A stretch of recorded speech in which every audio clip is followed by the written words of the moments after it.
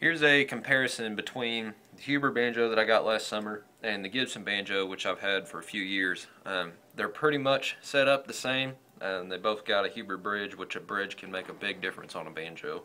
Uh, but the, as far as actual setup goes they're pretty much the same, same strings and everything.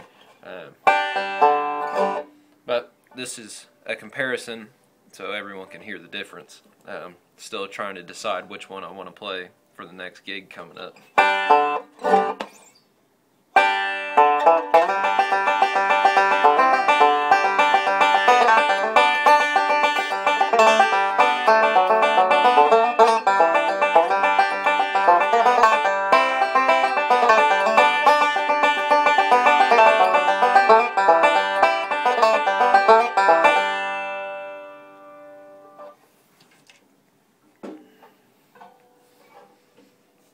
And we have Frankenstein, which is the Gibson that I've had.